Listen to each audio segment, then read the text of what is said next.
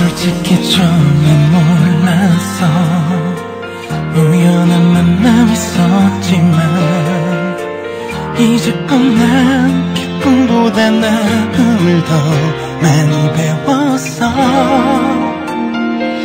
눈물이 많았던 하지만 너에게 웃음만 줄 거야. 이제서야 내 반쪽을 찾았나 봐.